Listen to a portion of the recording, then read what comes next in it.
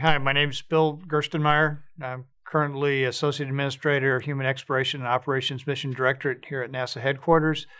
Uh, during the space station program, I was uh, Deputy Program Manager for a period of time and also Program Manager for the International Space Station down in Houston prior to coming up here to Washington.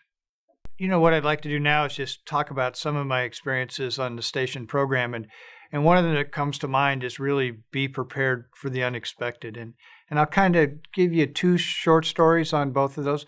One is more programmatic in nature, and the other one is more technical in nature. And and the first one I'll start off with was is the programmatic side. That you know we were just really starting to ramp up assembly. Things were going well from an EVA standpoint.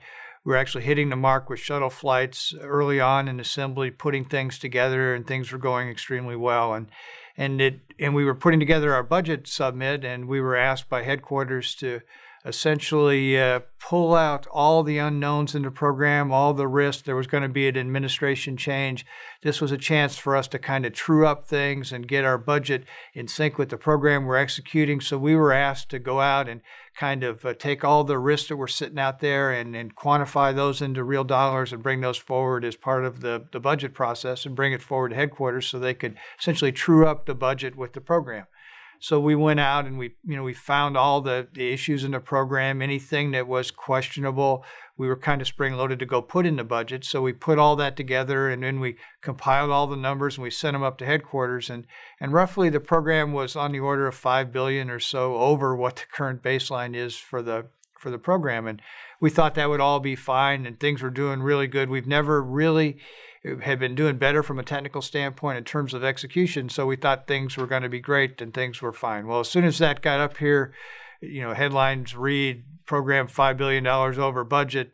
They bring in independent assessors and everything. And, and before we could even say that that 5 billion really wasn't a true 5 billion, it was maybe 2 billion of true overguide.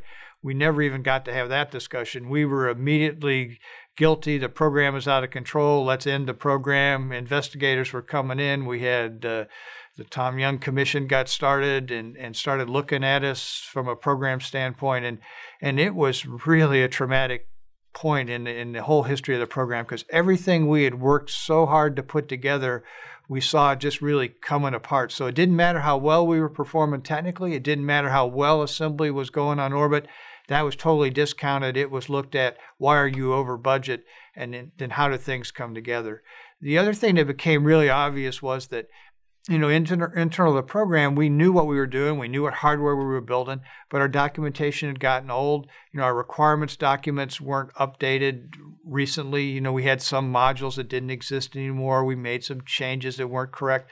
So the auditors come in and they don't know any better. They they're looking for requirements. They pull the requirements out, and we're nowhere near those requirements. So not only do they see this huge budget disconnect, but they see this whole requirements disconnect, which was just disastrous to the program. So then we, you know, quickly decided that we needed to put together a cost accounting requirements document, a CARD document. It's something that's typically done on the DoD side, where we just essentially annotate all our requirements in a way that's that can be easily seen by auditors. They can come in and examine the, the requirements and see what's being met and not being met. It's obvious to them, and we don't have to kind of justify the program. But I mean, that was hugely important. So, so kind of the lesson learned are when when things are really going well and everything seems perfectly fine, and you're really hitting your stride, and you really got confidence that things are going you need to be prepared for that unexpected. And, and it was the fact that we, we thought for sure we'd get a little bit of budget increase. We didn't.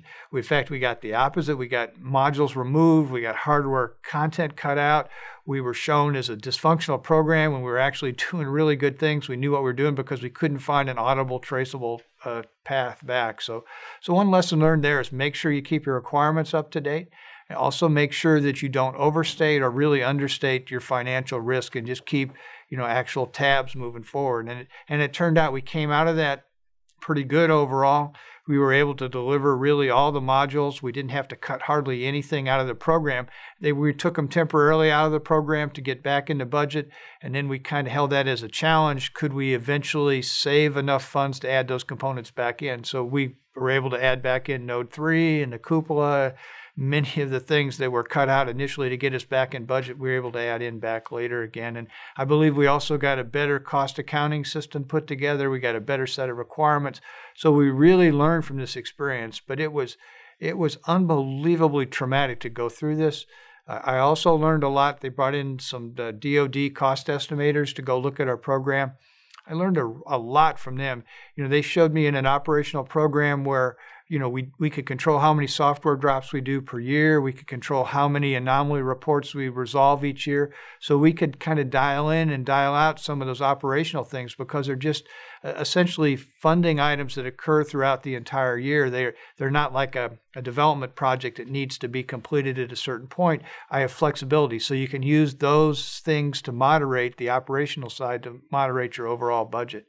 You know, the other thing we learned was also when when work came to a conclusion to actually remove the contractor off the task. So as we completed a truss element, and this will become more evident as, as I talk to you about the technical challenge, but we, we had the Columbia tragedy, we had to stop assembly, but I didn't stop truss development and truss uh, manufacturing down in Florida. We would take it to conclusion, we would stop, and then I would just stop all changes on that particular element. Even though our natural tendency would be to keep the entire organization up and running and working in that truss, I pulled them off of that truss element. They went on to the next truss element to go work, and that was a way to again to hold our costs down. So, so this traumatic event really helped the program overall improve our programmatic performance by first having good stable requirements and really understanding our budget as we go forward. So again, when you think things are going smooth and you're all comfortable and everything is doing really good, that's when you really need to be hypersensitive and watch out for these other little subtle cues that hey, something else is coming on the horizon.